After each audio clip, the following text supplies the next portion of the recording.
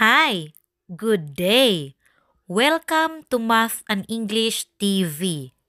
In this video, you will learn how to find the surface area of triangular prism. Let's find the surface area of this triangular prism. Okay, tingnan natin ang net ng triangular prism na ito para mas maunawaan natin ang ibig sabihin ng surface area.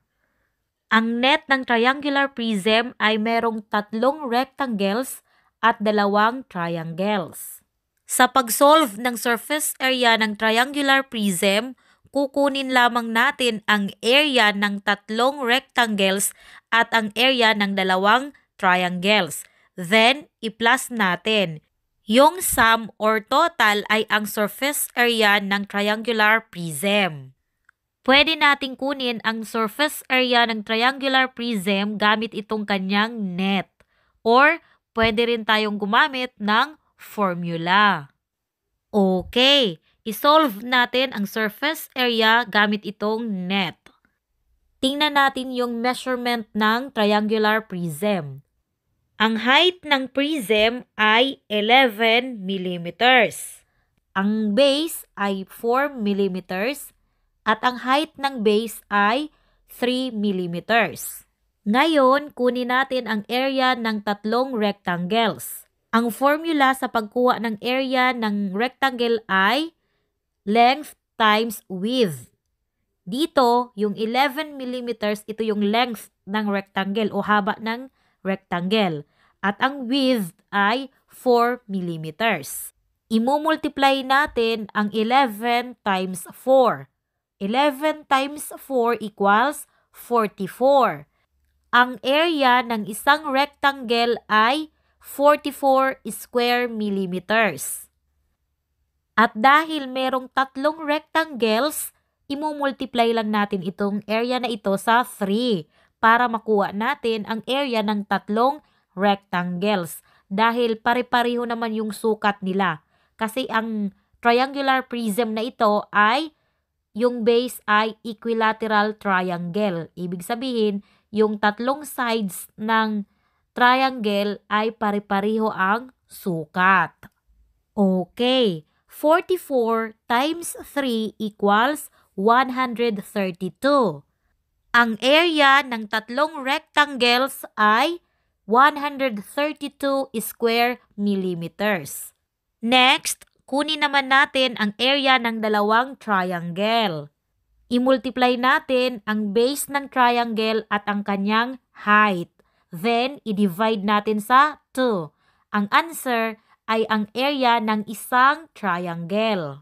Okay, yung base ay 4 mm times yung height ay 3 mm. Then, i-divide natin sa 2. 4 times 3 equals 12. Next, i-divide natin ito sa 2. 12 divided by 2 equals 6. Ang area ng isang triangle ay 6 square millimeters. At dahil merong dalawang triangles itong triangular prism, i-multiply lamang natin itong 6 square millimeters sa 2. 6 times 2 equals 12. Ang area ng dalawang triangles ay 12 square millimeters. Ngayon, i-plus natin ang area ng tatlong rectangles at ang area ng dalawang triangles. 132 square millimeters plus 12 square millimeters equals 144 square millimeters.